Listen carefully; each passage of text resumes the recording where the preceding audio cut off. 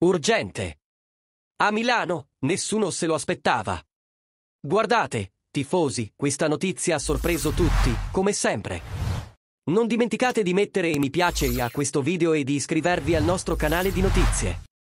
Oggi abbiamo una notizia fresca fresca dalla Gazzetta dello Sport di questa mattina, che ha riportato l'interesse del Milan per Cristian Mosquera dell'Atletico Madrid.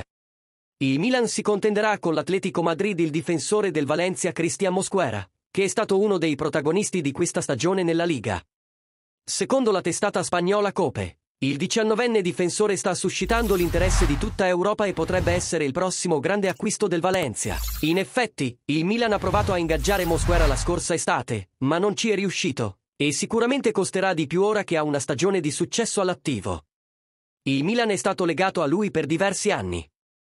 Il nome di Mosquera è stato discusso quando il Milan stava concludendo l'affare per Yunus Musa dalla squadra spagnola. Il suo contratto è stato prolungato automaticamente fino al 2026 in questa stagione a causa del numero di partite giocate che ha fatto scattare una clausola. In questa stagione ha giocato 38 partite ed è la stella del Valencia.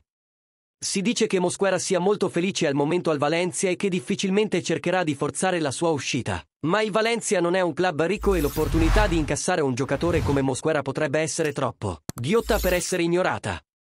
Lo spagnolo è un prodotto dell'Accademia del Valencia e ha trascorso tutta la sua carriera lì, il che significa che sarebbe un addio emozionante.